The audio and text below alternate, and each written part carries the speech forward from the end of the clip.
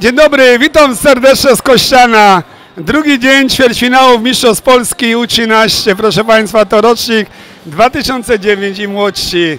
Rywalizacja, walka, stawka jest duża. Stawka to wyjście do najlepszej ósemki w Polsce. Być finały, w finale to już jest super osiągnięcie. O tym marzy każdy.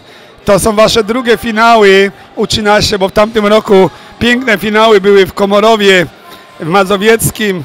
W tym roku finały zorganizują prawdopodobnie Dziki Warszawa, też mazowieckie. A ja teraz pokrótku chciałbym e, przedstawić e, wczorajszy dzień. Jesteśmy w grupie A, proszę Państwa. Tu w pierwszym meczu został Zielona Góra, gra z WKK Wrocław. Tu był mecz, do, jak to się mówi, do jednego kosza. E, Wygrywa zdecydowanie zespół trenera Michała Rutkowskiego 99 e, 50 51. W drugim meczu mieliśmy moc emocji. W drugim meczu spotkała się drużyna gospodarzy Obra Kościan z Wilkami Morskimi Szczecin. No i znakomite zawody rozegrali chłopcy, dostarczając kibicom bardzo wielu emocji. Tu naprawdę było głośno. Te bęby, te trąbki, no niesamowite przeżycie, jak za starych, dobrych czasów. Końcówka, więcej zimnej krwi należała e, do gospodarzy. To Obra Kościan cie- cieszy się ze zwycięstwa. Ale to jest dopiero pierwszy dzień, pierwsze koty za płotem i przechodzimy do grupy B.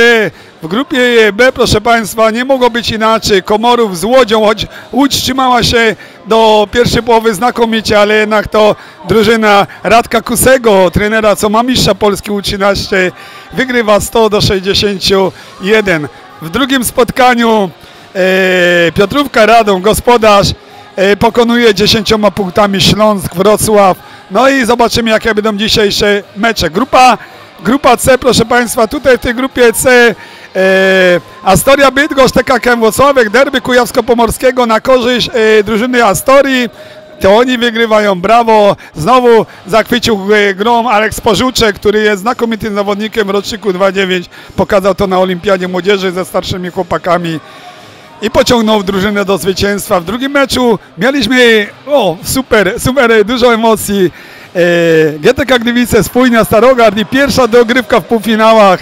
Po dogrywce, e, e, w dogrywce też e, walka łeb w łeb i, i tylko dwoma punktami wygrywa w dogrywce drużyna ze Spójni. Będzie się działo w tej grupie jeszcze dużo. No i ostatnia grupa, proszę Państwa, grupa D, gdzie gospodarzem jest Korona Kraków. Pruszków przegrywa z dzikami Warszawa 106-45. Dziki idą jak burza od zwycięstwa do zwycięstwa. E, Tu też nie mogło być inaczej. Zdecydowanym faworytem w tej grupie są dziki. Natomiast w drugim meczu Korona Kraków. Korona Kraków pokonuje e, Start Lublin 94-52. No i tak wygląda pierwszy dzień zmagań koszykarskich w kategorii U13. Za chwileczkę chłopcy ruszą do boju, do kolejnych meczy i już dzisiaj na pewno poznamy pierwszych finalistów Mistrzostw Polski rocznika 2.9. To ten rocznik, proszę Państwa, e, będzie miał w tym roku swoją olimpiadę młodzieży. Jestem z Wami, o- obserwuję i, i cieszę się, że mogę kolejny rocznik tutaj monitorować i kolejny rocznik oglądać, choć lata przybywają, ale jestem z Wami.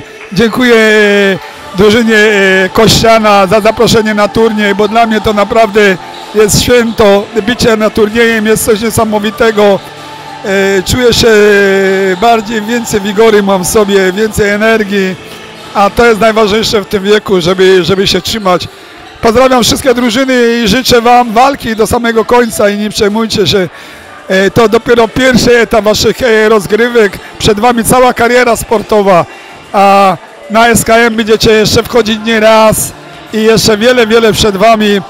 A ja obiecuję, że w przyszłym roku, tak jak dla rocznika 2.8 w tym roku, w przyszłym roku dla waszego rocznika też zrobimy Mistrzostwa Polski.